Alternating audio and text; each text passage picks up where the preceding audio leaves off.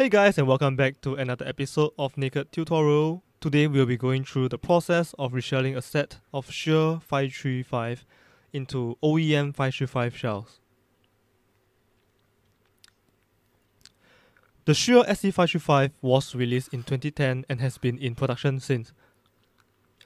For an IEM of this age, it is not uncommon to have the shell starting to fall apart.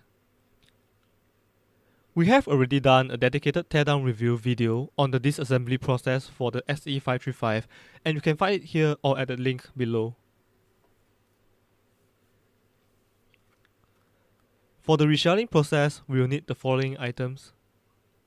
For tools, we will need soldering equipment, tweezers, damper remover tool, needle, and super glue.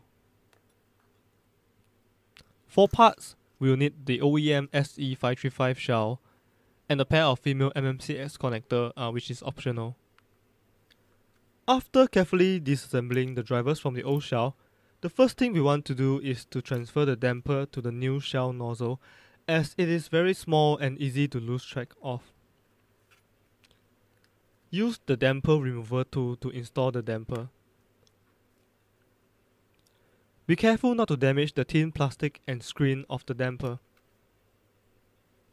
We will now carefully slot the driver into the shell. The front of the driver with the silicone gasket needs to be aligned with the back opening of the nozzle and we can slot the metal plate at the back of the driver assembly into the small holder slot at the back of the new shell. Be careful when slotting the metal plate as the holding slot is made of thin plastic and is quite fragile. Once this is done, we can now slot the female MMCX connector into the connector holder on the shell. We can now seal the shell back after testing the sound balance using a needle and super glue. Pour a small amount of super glue on a piece of unwanted plastic Dip the needle into the droplet of glue and apply them along the edges of the shell.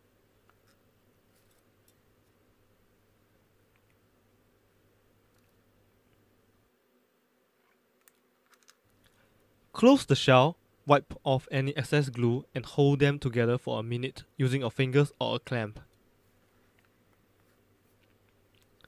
The whole disassembly and reshelling process is quite straightforward and you should not run into any big issues as long as you are careful enough.